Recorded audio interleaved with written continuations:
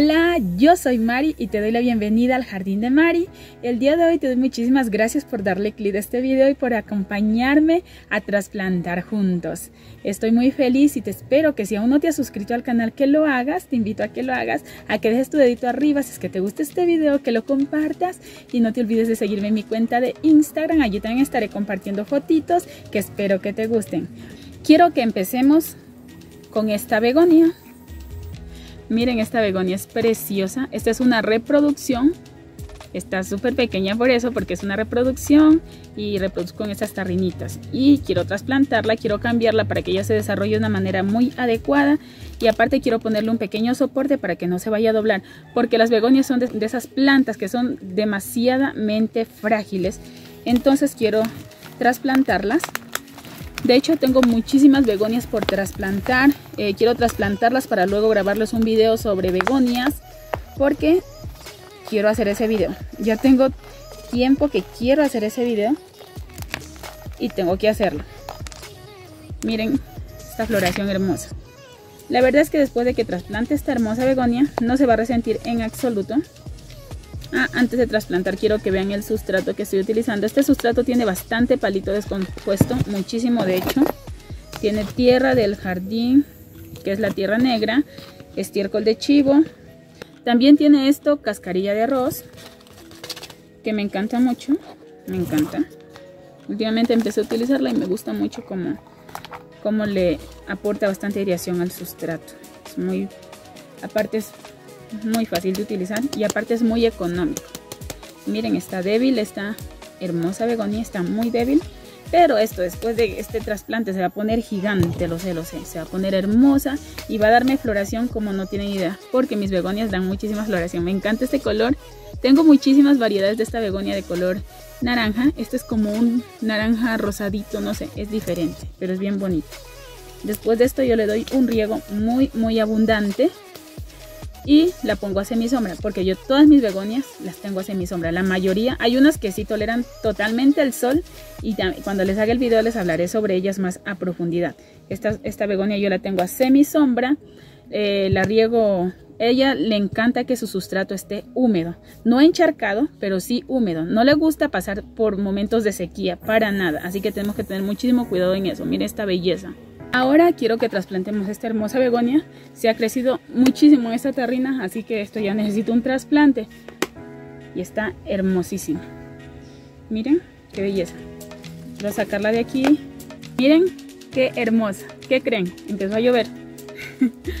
quiero aprovechar y sacar esta pequeñita de aquí para hacer una pequeña propagación. Esto es suficiente. Estas begonias en particular pegan sumamente rápido, son muy fáciles para pegar. Pegar, prender, como le quieran llamar. Esta de aquí en particular me he dado cuenta que tolera un poquito más eh, la exposición directa al sol que las otras. Esta begonia está preciosa, me encanta. Aparte de las begonias que tengo, esta también es una de las más fáciles. Más fáciles de cuidar y más fáciles en todo. Tengo muchísimas begonias de trasplantar muchísimas. Pero quisiera dejarles también algunas para el video de sobre begonias. Para que ustedes vean muchas cosas que quiero indicarles allí. Más a profundidad sobre estas preciosuras. Y miren, así nos quedó esta hermosa. Aquí se va a poner divina, preciosa. Miren esas hojas tan hermosas, tan grandes. Y es muy, muy rápido de crecer esta begonia en particular. Crece rapidísimo, rapidísimo. Está bella, miren quiero trasplantar esto. Me trajo mi hermano, no sé qué será, pero me gusta muchísimo cómo cuelga. Me encanta y crece muy rápido. Está demasiadamente largo y se quebró. Lo tenía de hecho allí para que enraice, enraizó muy rápido, pero no lo había sacado. No sé cómo se llamará esto, no tengo idea. Pero a mí todo, todo lo que sea planta me encanta. A veces estoy por ahí, a veces dicen, se me ríen porque dicen, andas cogiendo esos montes. Pues puede ser, puede ser que sean montes y todo eso, pero a mí me encantan, me encantan las plantas, no importa cuál sea, cuál sea, cuál sea, me encantan, me fascinan, todas. Después de que trasplante esto, esto va a ser un cochinero, pero no importa, esto se limpia. Esto también quiero ponerlo aquí mismo y crece aceleradamente rápido. No sé qué será, pero me encanta. Me encanta cómo cuelga. Y miren esos, no sé, pero solamente quiero que vean esos colores de esas hojas, esos colores hermosos, esos bordecitos. Es que es divina, me encanta, me encanta esta planta. Es tan sencilla pero hermosa. Quiero que nazca muy parejo por aquí. Quiero llenar esto. No importa si tapamos hojitas porque esto, como les digo, bota raíz rapidísimo.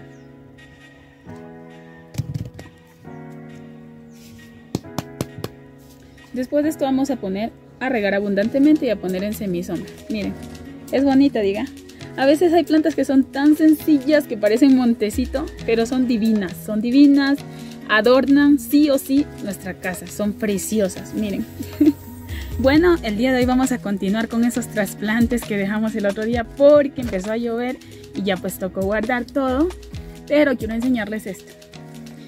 Esos es uno de los días que estamos trasplantando full begonias. Ya me floreció. Miren esta floración tan hermosa. Ahí quiero trasplantarles para poderles hacer el video de begonias que quiero hacerles. Y esta floración está divina. Y miren, esto ya me ha dado muchísimas hojas nuevas desde que la compré. Estaba un poquito maltratadita cuando la compré, estaba un poquito feita, pero bueno, todo se arregla, todo, todo.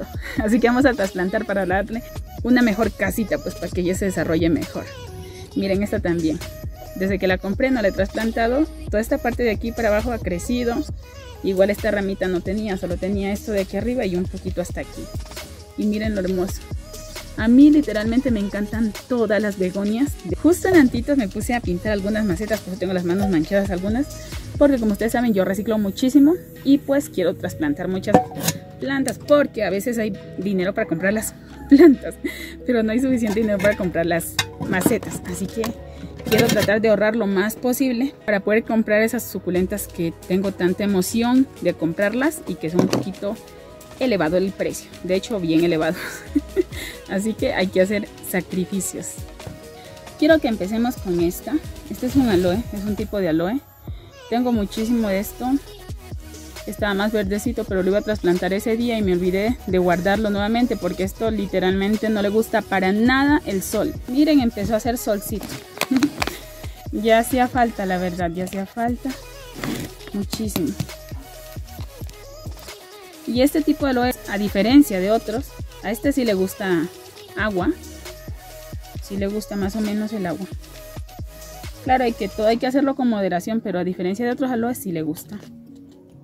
Quiero ponerlo todo esto aquí y quiero poner luego a semisombra para ver cómo le va. Este de aquí lo puse en esta macetita que la acabé de pintar hace poco porque quiero que se expanda totalmente todo, todo, todo. Espero que puedan observar. Es bellísimo. Y como ustedes ya saben, yo el único abono que utilizo es cuando estoy trasplantando. No hay otra cosa más que haga. Ya cuando ya estos pase sobrepase la maceta, pues ya cuando toque otra vez trasplantar, le volvemos a abonar. Pero mientras tanto esto, aparte este tipo de aloe no necesita abono. Él está feliz en cualquier tipo de tierra. Ahora quiero trasplantar este geranio, que ya me va a florecer. Es un geranio, es el único que tengo de esta variedad. Y miren, un esquejito que me regalaron. Y pues lo, lo puse aquí. Yo dije, ay no, pues lo, estaba, lo he estado mirando toda la vida. Y ya, pues ya pegó. Entonces es un color como blanco con verde, al mismo tiempo es como con verdecito. Ya una vez que se abre totalmente la flor, es con matices verdes en los pétalos y se pone muy hermoso. Y como ustedes saben, yo quiero tener toda la variedad de geranios que pueda haber en el mundo. Lastimosamente no tengo todo el espacio, pero si es posible tener muchísimos, todo lo que avance a tener, pues yo feliz. Espero en un futuro poderme, no sé, uno de mis sueños es comprarme una finca gigante y poder tener todas mis plantas y todas las que desee. Miren, vamos a trasplantar esta begonia, que está muy bonita. Aparte ya no le hace falta el riego y necesito cambiarle esta tierra. Cada vez que voy a los viveros y veo begonias, no dudo en comprarlas. Amo las begonias, literalmente amo las begonias. Esta de aquí, a diferencia de las otras begonias que son más sensibles a la luz solar, esta sí la tengo, sí le da un poquito de luz solar. Eh, unas dos horitas porque las begonias, la mayoría de las begonias no les gusta la luz. directa, de forma directa, sino que más bien luz de forma, filtrada. Como ustedes saben, las begonias se las encuentra en forma natural, en forma silvestre en los bosques, pues ellos están recibiendo siempre esa luz filtrada porque los árboles hacen que la luz no venga de forma directa. Entonces tenemos que tratar de nosotros crear ese ambiente, ese ambiente que sea similar a la de su, a su hábitat natural. Y miren, esta es de las bandejitas que me estoy comprando últimamente. Me gusta. Miren, esta floración está bellísima. Y así fue como nos quedó nuestra hermosa begonia. Me encanta, me encanta, me encanta más el lado de acá atrás de la hoja.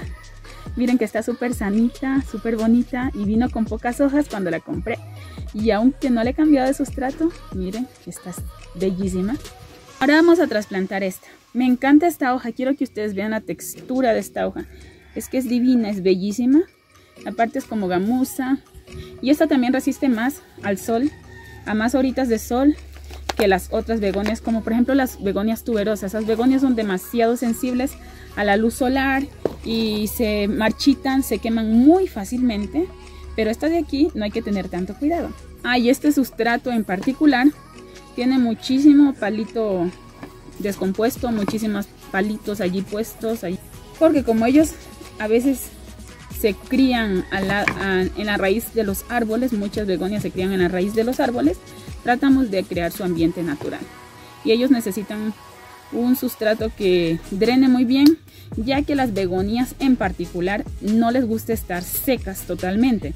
Ellos prefieren un, un ambiente húmedo, pero no encharcado. Hay que tener muchísimo cuidado con ello porque si encharcamos demasiado podemos llegar a hacer podrir nuestra planta y no es lo que queremos. Entonces el sustrato de las begonias siempre debe estar húmedo. La mayoría de las begonias siempre debe estar húmedo y por lo general las tuberosas, este tipo de begonias, el sustrato húmedo, pero no encharcado, no encharcado, sino húmedo para que ellos se sientan en su ambiente tropical que son ellos por lo general. Y miren, fue así como nos quedó nuestra preciosa. Yo sé que esto va a crecer divino y eso es lo que yo quiero que se llene todita, todita esta maceta porque estas hojas me encantan, me fascinan. Esta aún no he visto su floración, pero sus hojas para mí son suficientes, son preciosas. Ahora quiero que trasplantemos esta hermosa propagación de ala de ángel. Es bellísima esta begonia coralina, es preciosa. Miren cómo está de tan sana, esas hojas tan hermosas. Y esto va en viento en popa, esta hermosa propagación. Vamos a sacar esta suculenta de aquí, esta suculenta y vamos a tratar de sacar esto. Y a ver cómo nos va. La planta madre está gigante, está gigante. Pero necesito trasplantar porque está creciendo bastante rápido esta. Creciendo a viento acelerado. Vamos a ponerla aquí. Yo sé que aquí se va a poner mucho más bonita, mucho más grande. Esta de aquí se le queman fácilmente las hojas si nosotros ponemos a sol directo. Así que tenemos que tener muchísimo cuidado. Esta de aquí, al menos en particular, la mía en particular, no le gusta para nada el sol. Aparte que ustedes saben que en mi ciudad, las ciudades que están a una altura superior, eh, sobre el nivel del mar, pues estamos más propensos a tener sol, rayos de luz más de forma más directa y es mucho más fuerte y quema mucho más las hojas. De estas begonias no le estoy hablando de manera más profunda porque voy a hacer, ya estoy haciendo de hecho el video donde voy a hablarles de todos tipos de begonias que yo tengo, que son muchas, eh, según yo. sí tengo algunas, la verdad, tengo mucha variedad de begonias, me encantan las begonias, las amo y estoy empezando Vi una en el vivero que me la quiero comprar, me la quiero comprar, sino que está carita. Pero ya vamos a ir reuniendo para comprarla. Miren, qué hermosa quedó, ¿verdad? Y siento que este color resalta muchísimo con esas pintitas blancas de sus hojas tan saludables y tan sanas. Está bellísimo. Y miren, así fue como nos quedó nuestra propagación de begonia. De aquí se va a poner bellísima. Su floración es divina. Ahora quiero trasplantar este geranio chino. Es una propagación que hice y ya está perfecto para trasplantar. Quiero ponerla en esta maceta de acá y creo que va a ser perfecto para que se desarrolle y me empiece a dar sus primeras florecitas porque está hermoso. Me encanta cómo está. No quiero moverle mucho sus raicitas. Miren la tierra cómo está. Bien bonita la verdad. Está muy bonita así que no le vamos a menear mucho sus raicitas. Este geranio en particular eh, lo tengo más horas de sol directo que otros de mis geranios. Porque siento que sus hojas son más resistentes. A veces sí, a veces no. Cuando el sol está demasiado fuerte, yo sí resguardo mis geranios. Siento que se queman a veces y no me gusta. Y cuando está demasiado fuerte, sí los resguardo bastante, la verdad. Que les dé de manera indirecta. Y miren, así nos quedó este bonito. precioso y se va a poner divino. Yo sé que se va a poner divino.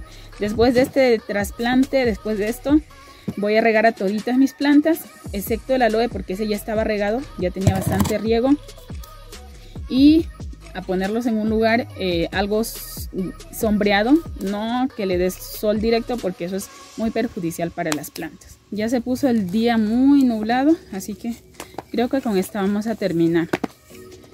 Les cuento que se vienen muchos videos de trasplante porque tengo muchísimas plantas por cambiar, por adecuar a un mejor lugar. Aparte de que hay muchas que me han crecido bastante, bastante que he trasplantado hace poco y ya me han crecido mucho, entonces, no, de hecho estoy feliz que me crezcan, que me crezcan nomás.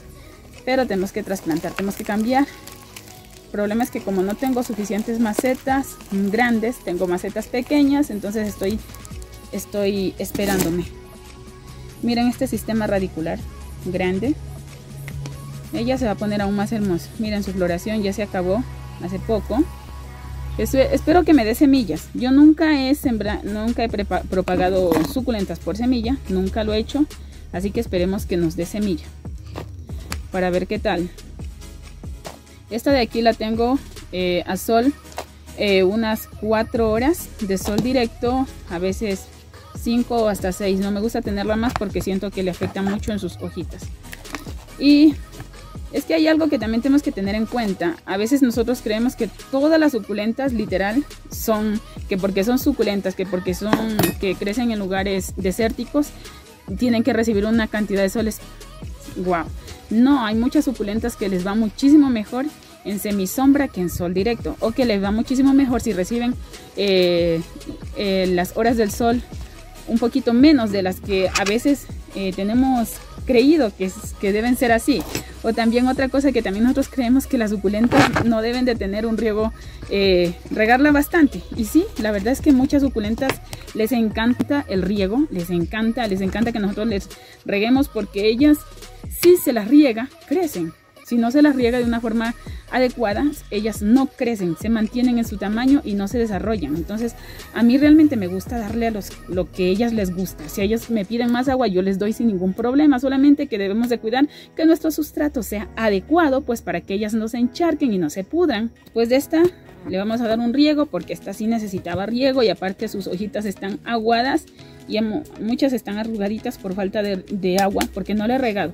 Y miren que esto está empezando a florecer por acá. También está sacando pimpollitos florales. Y se va a poner bonita. Yo sé que vas a crecer bellísima, preciosa. ¿eh? Con estos cuidados que te voy a dar, te vas a poner divina. Y bueno, estas son todas nuestras suculentas que hemos trasplantado el día de hoy. Espero que hayan disfrutado este video al igual que yo lo hice junto a ustedes. Y que si tienen muchas begonias que yo no tengo, déjenme allí en los comentarios y cuáles creen ustedes que yo debería conseguir para aumentar esta hermosa colección. Y si tienen algunas begonias, envíenme sus fotitos por Instagram, me encantaría verlas. Muchísimas gracias por haber llegado hasta el final de este video. Si no te has suscrito, espero que lo hagas, que dejes tu dedito arriba si te gustó este video, que no te olvides de compartir, no te olvides de seguirme en Instagram, que yo también estoy compartiendo fotitos. Muchísimas gracias y que Dios me los bendiga a todos ustedes. Hasta una próxima oportunidad.